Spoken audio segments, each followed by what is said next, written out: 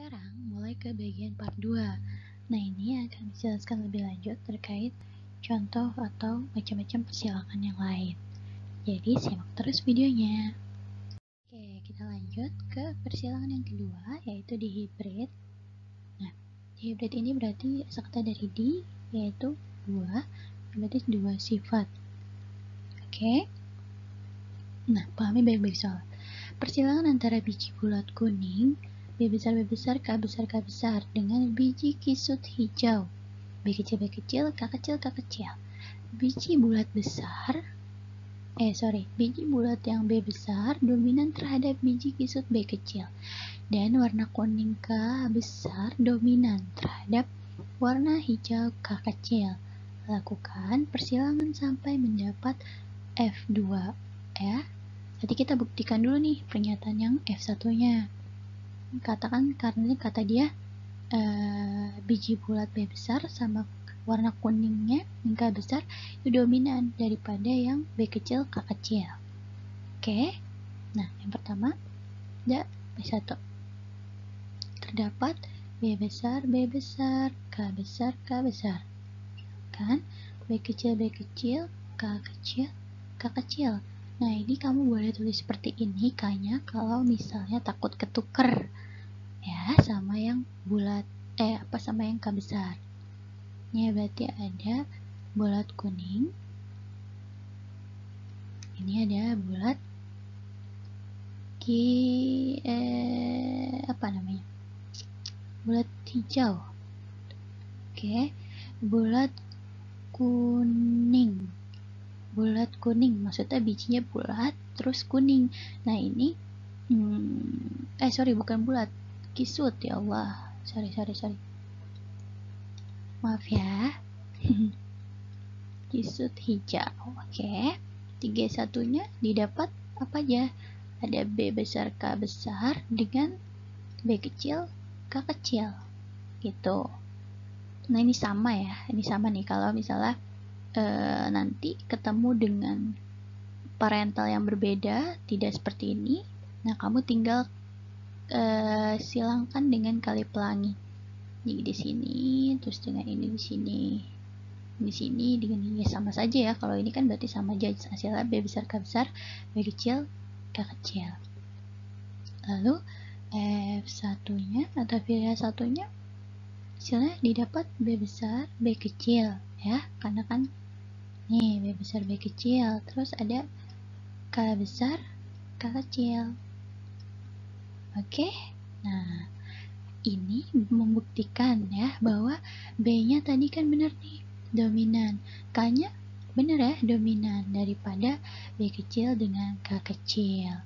Tuh oke. Bisa dipahami? Kita untuk membuktikannya?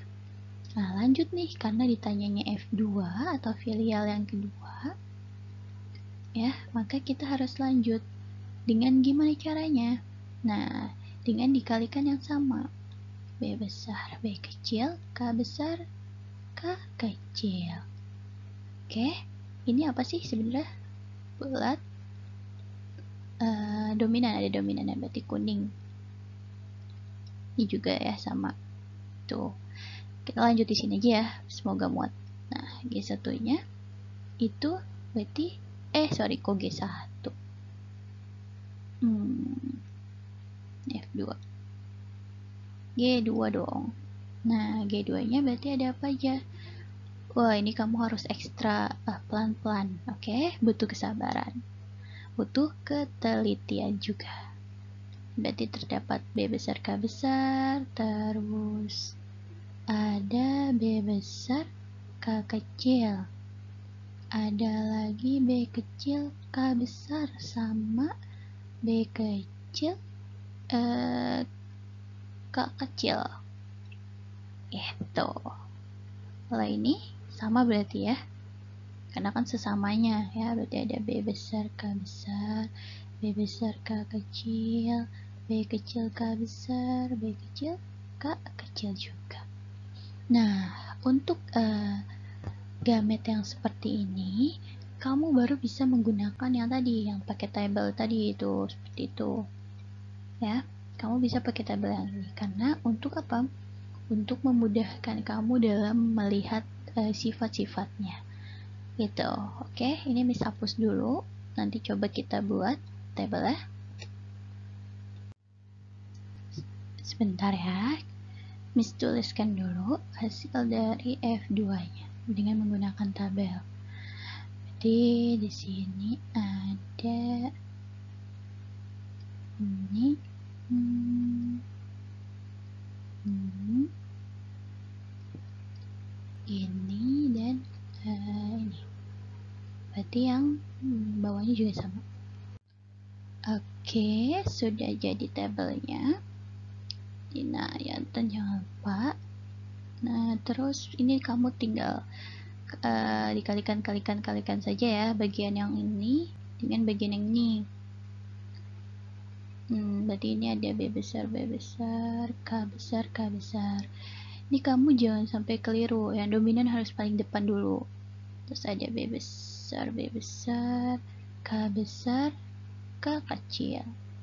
B besar B kecil K besar K besar. Tuh sampai seterusnya oke? Okay? oke okay, ini sudah jadi tabelnya ini ada perhitungan-perhitungannya. Nanti kamu tinggal kategorikan uh, mana saja yang beda ya. F2 nya apa saja di sini boleh ya. Disebutkan nih huruf genotip dan uh, fenotipnya dibedakan perbandingannya ya. Karena kan ini nanti kita harus menentukan perbandingannya. Oke mis tuliskan maka diperoleh F2 nya perbandingannya adalah hmm, B uh, mis tulisnya gini aja ya. Karena uh, takutnya bingung. Berarti ini bulat kuning. Nah karena kan sifatnya tadi ada totalnya 16 ya. Nah 4 kali 4 ya. 16 maka nanti perbandingannya juga khusus biasanya ada ketentuan-ketentuannya. Sini B besar. Hmm, K besar ya. K besar K besar. Ini bulat. Hmm, eh sorry sorry sorry. Bentar bentar. Kayaknya miss uh, error nih. Benar banget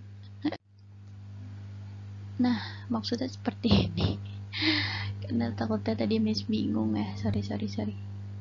Nah ini kalau nanti kamu sudah bisa menghitung yang tabel tadi kamu hitung nih. Bulat kuning ya yang ada B besar dan K besarnya itu berapa banyak? Kalau yang di tadi itu ada 9 terus tadi ada B besar dengan K kecil K kecil. Itu ada namanya bulat hijau. Berarti karena K nya kan kecil ya hijau. B nya besar. Itu bijinya bulat. Ini ada berapa? Ada tiga. Lalu ada B kecil K besar. B kecil itu adalah si kisut. K besar adalah si kuning. Gitu. Berarti ini juga hasilnya sama. Tiga. Kalau pakai perhitungan yang tadi table. Terus di sini ada lagi. B kecil dengan K kecil. Berarti udah kisut hijau warnanya Nah ini cuma ada satu.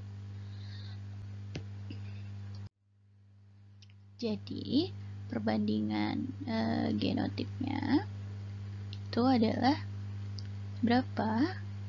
Yaitu 9 banding 3 banding 3 banding 1. Nah, fenotipnya juga sama kan? Ada banding 9 banding 3 banding 3 banding 1. Tapi kalau yang dipakainya simbol huruf kalau ini ditulis berarti ada apa aja? Ada uh, bulat uh, ini singkatnya ya.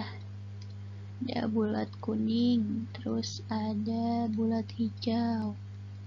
Ada kisut kuning dengan kisut hijau. Oke bisa dipahami sampai sini? Saya? Nah sebenarnya uh, ini uh, mudah ya asal kalian teliti. Kuncinya di situ. Ini per perlu yang namanya kesabaran dan juga ketelitian. Apalagi untuk perhitungan secara di hibrid. Nah, Miss mau kasih tahu kalau di, di hibrid atau di mono hibrid atau di persilangan-persilangan lain biasanya suka ditanya nih uh, apa namanya berapa presentase ya berapa presentasinya? Terus atau berapa presentasinya jika uh, bulat kuningnya misalnya 6000 gitu. Ini suka biasa kayak gini-gini soalnya. Ini gimana cara ngitungnya? Oke ini mis hapus dulu ya. Ini mis tuliskan dulu. Oke sud kuning dan kisut hijau. Nah misal. Ya misalnya di sini ditanya uh, presentasi sorry presentasi. Persentase uh, biji bulat uh, apa ya hijau misalnya. Berapa persentase biji bulat hijau? Nah bulat hijau yang mana? Bulat hijau yang ini kan? Oke. Okay. sorry sorry bentar. Miss bedain warnanya dulu. Nih ini bulat hijau nanti yang ditanya cuma persentase bulat hijau. Gimana cara ngitungnya? Kalian pasti udah jago. Miss percaya. Berarti 3 per bulat hijau. Per berapa? Totalnya 16 ya. 9 tambah 3 tambah 3 tambah 1 dikali 100 persen. Nah ini berapa hasilnya? Jadi berapa hasilnya? Ya saya pasti uh, 19,75 persen oke jadi seperti ini salah satu contohnya Nah, kalau misalnya ditanyanya ternyata ada kata-kata hmm, apa? Jika hmm, bulat eh, hijau itu sebanyak misalnya 2000. Nah, hitungnya gimana? Nah, ini tinggal diganti aja 100% nya itu diganti dengan 2000. Oke? Okay? Seperti ini bulat hijau 3 15 2000 gitu nah hasilnya berapa di sini ada hasilnya sekitar segini ya sure. nah ini di bulat hijaunya terus segini oke okay? Nanti kamu akan kasih contoh soal uh, mono hybrid dan juga di hybrid jadi pahami baik-baik bagaimana cara menyilangkan dan juga jangan lupa dipahami dulu istilah-istilah dalam uh, pewarisan sifat atau hereditas. Nah, untuk penyimpangan semu itu nanti akan dilanjut. Dan misalkan buatkan video lagi di uh, video yang berbeda tapi masih akan misambungkan atau miskaitkan dengan pola hereditas dan hukum Mendel. Oke. Okay? Untuk eh, teori-teori uh, yang terdapat dalam hukum Mendel, kalian bisa baca sendiri di buku. Ya, di sini misalkan cuma jelaskan uh, mengenai proses perhitungannya saja supaya kalian uh, sewaktu-waktu kalau bertemu dengan soal-soal itu tidak dibuat bingung lagi karena waktu kita terbatas kalau pada saat PJJ gitu. Jadi jangan lupa dicatat contohnya juga dan pahami betul-betul, gunakan dengan baik waktunya. Sampai jumpa di video berikutnya. Assalamualaikum warahmatullahi wabarakatuh. Bye bye. Semangat belajarnya.